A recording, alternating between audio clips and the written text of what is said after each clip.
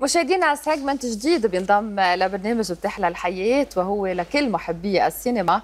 وبما أنه اليوم هو ال Valentine's Day اليوم بدنا نحكي عن خمس أفلام رومانسية يعتبروا هن آه، رمز للرومانسية والحب والغرام. وبيسعدنا نستقبل بيير حرب. أهلا وسهلا فيك بيير. أهلا وسهلا فيك بيير. يا هلا. و happy Valentine's Day happy Valentine's Day أهلا وسهلا فيك بيير. اليوم مثل ما ذكرت عفاف رح نحكي عن خمس آه، صح. أفلام رومانسيه بشو بدنا نبلش أول شيء بأي فيلم؟ رح نبلش أول شيء ب movie اسمه When Harry Met Sally 1989 من بطولة بيلي كريستال وماج راين okay. يلي هن من أهم الممثلين أكيد. آه، ال movie بيحكي عن كيف بتتطور العلاقة بين اثنين رفقة بيكونوا هن basically friends من أجمل الأفلام خصوصا ماج راين ولا ولا اهضم من هيك. فبيكونوا هن إنه هاري ما بيأمن فيه إنه رفقة بين المرأة والرجل. بينما سالي بتقول إنه بلا فيهم يكونوا رفقة هن صح. فخلال السنين يلي هن فيها مع بعض بصيروا يلاحظوا إنه كلهم عم بيتعرفوا على مثلا بنات شباب بيرجعوا يتركوا هن كل الوقت. آخر شيء بيلاقوا إنه عم بينغرموا ببعض هن شوي وشوي وبالآخر they find بلش تتطور ليلى بينغرموا ببعض هيدي مثل عبارة عن الرومانسية ال perfect عند كل العالم على اساسها الرفقه يعني true friendship okay. ثاني movie مبنية على الصداقة الحقيقية. صح.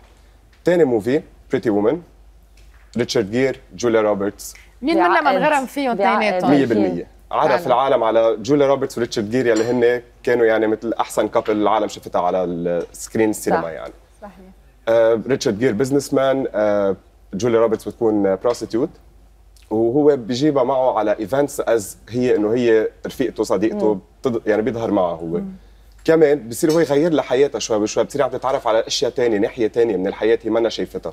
صح. بتصير تتغرم فيه شوي بشوي لقيت الشخص يلي رح يشيلها من ستير الحياة اللي هي كانت عايشته ولقيت الغرام والحب فيه. وهو كسر كل الحواجز. هو كسر كل شيء كرمالها غير كل شيء بحياته كرمالها أكيد. ال movie الثالث يلي كل العالم مغرومة فيه وكل العالم بتحكي فيه لما بده يحكوا بال romance The Notebook okay. ريتشل ماك أدمز راين جوسلينج ال different classes هن.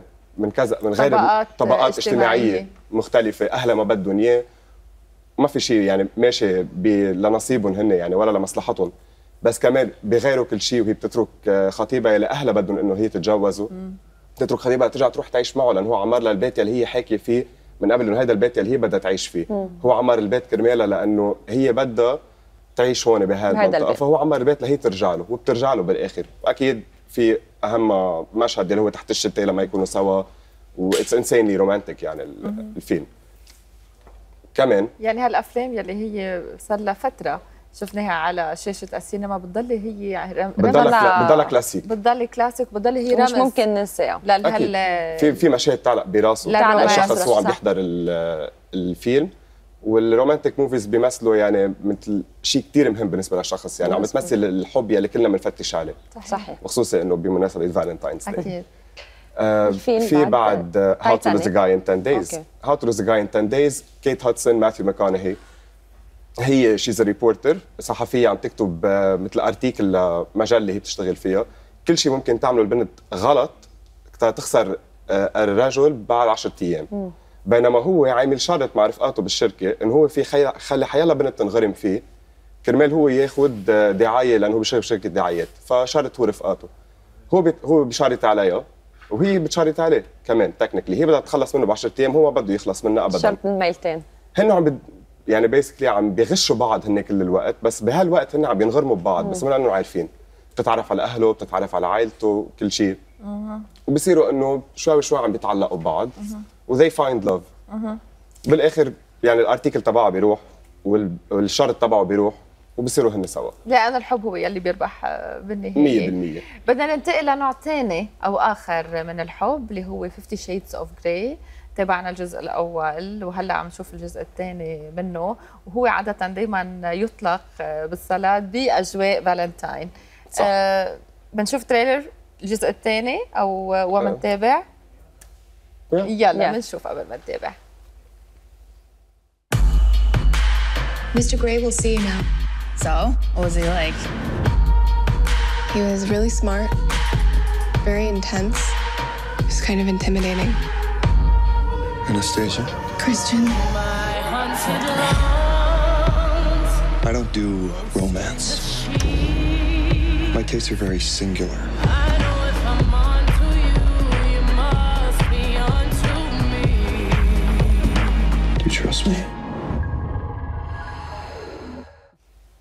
شفنا المشاهد من الجزء الأول. شو صح. بدك تقول عنه؟ okay بدي بس أقول مثل شيء بشكل عام يمكن على الاثنين حنعلق. بشكل عام عن الفيلمين أو عن 50 Shades of Grey in general القصة بحد ذاتها.